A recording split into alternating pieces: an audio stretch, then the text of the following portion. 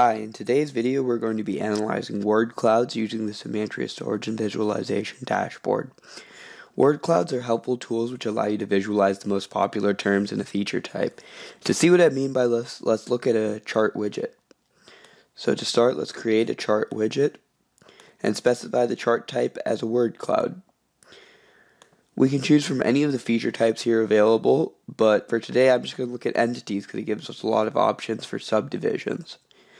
I'm going to limit it to the top 15 terms. And again, here are the subdivisions we can choose from. We can either look at just the companies, people, products, hashtags, or places. For now, I'll look at all types. When I add the widget, as you can see, the most popular companies, brands, hashtags all pop up with the DT880 uh, being the most popular, and it also shows the amount of occurrences it appears in each data type.